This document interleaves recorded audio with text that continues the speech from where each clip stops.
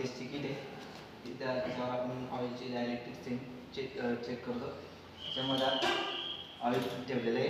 त्यात एअर त्यात दोन इलेक्ट्रोडमध्ये जो गॅप राहतो. पॉईंट फाईव्ह मिनिटचा राहतो. आपण याच्यावर तो चेक करतो. बरं.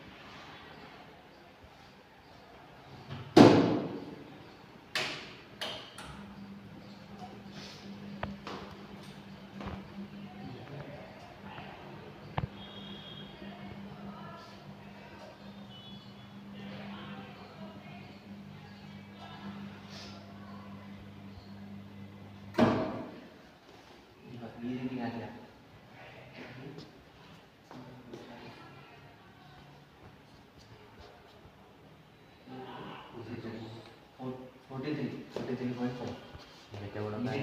फोर्टी थ्री अं, oil ची डाऊन आहे breakdown state.